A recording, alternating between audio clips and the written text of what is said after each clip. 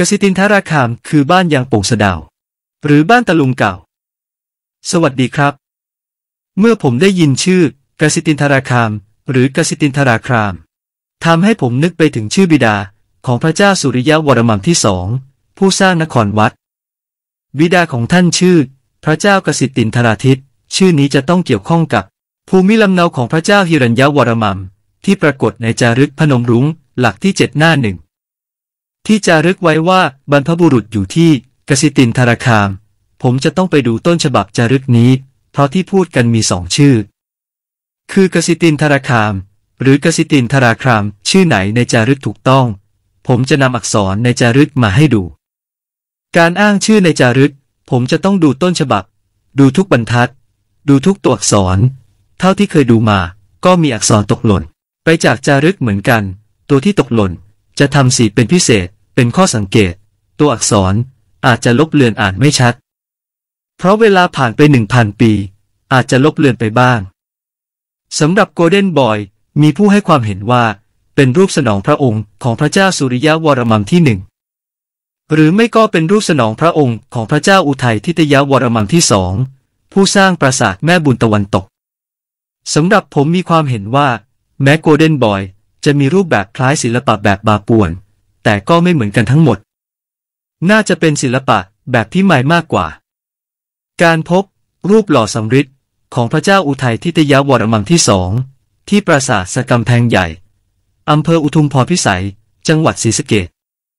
ก็ห่างไกลกับที่พบโกลเด้นบอย ที่บ้านยังป่งสะดาอำเภอละหารทราย จังหวัดบุรีรัมย์มาก การหล่อรูปสำริดสมัยหลังมีความประณีตมากกว่า และคงสภาพเกือบเหมือนกับรูปหล่อเดิม แม้เวลาผ่านมาแล้วหนึ่งพันปี ส่วนรูปหล่อพบที่ปราสาทสกำแพงใหญ่ แตกหักไปมากแล้วโกลเด้นบอยจึงน่าจะเป็นรูปสนองพระองค์ของพระเจ้าชัยวรมันที่หกเพราะพบเจอในบริเวณกระสิตินธนาคาม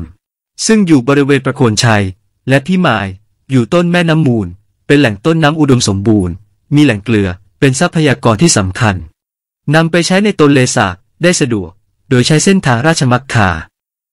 กสิตินธราคามต้องอยู่บริเวณนี้ พระเจ้ากสิตินธราทิตก็ต้องอยู่ที่กสิตินธราคาม เช่นเดียวกันคำว่าคาม แปลว่าหมู่บ้าน และพัฒนามาเป็นปุระหมายถึงเมือง พระเจ้าสุริยวรมังที่สองมีบรรพบุรุษอยู่ที่ บ้านตะลุงเก่าอำเภอประโคนชัย จังหวัดบุรีรัมย์ชื่อหมู่บ้านต่างๆ ในสมัยก่อน พูดกันต่อมา ปากต่อปาก ก็รู้กันว่าอยู่ที่ไหน ไม่ได้เขียนป้ายชื่อหมู่บ้าน ปักไว้เหมือนในสมัยนี้ พระเจ้าฮิรัญยวรมัม มีโอรสสี่พระองค์ และธิดาหนึ่งพระองค์ เมื่อบุตรธิดาโตขึ้น คงไม่ให้อยู่ที่บ้านเกิดด้วยกัน คงจะต้องให้บุตรองค์นี้ไปครองเมืองนี้ บุตรอีกองค์ไปปกครองเมืองนั้น แยกย้ายกันไป สร้างบารมีกันเอาเอง ใครมีบารมีมากก็จะรวบรวมผู้คนได้มาก ประชาชนมีความศรัทธามากขึ้น ถือเป็นเมืองหน้าด่าน ก่อนจะเข้าเมืองหลักของบรรพบุรุษ พระเจ้าฮิรัญยวรมัมมีโอรสองค์ที่หนึ่งคือพระเจ้าธรณินทรวรมัมที่หนึ่งองค์ที่สองคือพระเจ้าชัยวรมัมที่หกยังได้เป็นกษัตริย์ก่อนองค์ที่เป็นพี่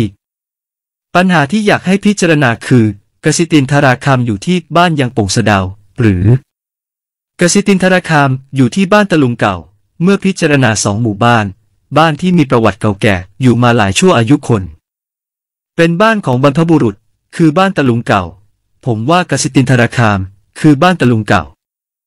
ส่วนบ้านยังป่งสะเดาคือบ้านที่พระเจ้าชัยวรมันที่หกไปปกครองเพื่อเตรียมการเข้าไปทำศึกกับเมืองพระนคร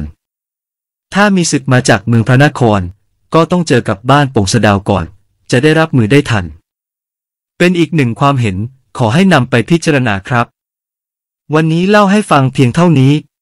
จะเล่าเรื่องใหม่ให้ฟังอีกในโอกาสต่อไป สำหรับวันนี้สวัสดีครับ